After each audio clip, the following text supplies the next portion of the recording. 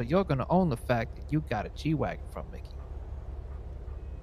You're gonna play the game of chess. Aren't you, Peaches?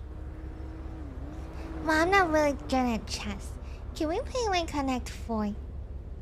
Okay, maybe you'll play Connect 4 and you'll line up, you line them up before Mickey does. Take his G-Wagon and then put him in jail forever. If he is dirty. That's where you come in, Peaches. You gotta find that out. It's gonna be a covert operation, okay? Not gonna be a handler. Okay. Okay, okay, okay. So here's the plan. You're gonna get married to the mayor. what do you think?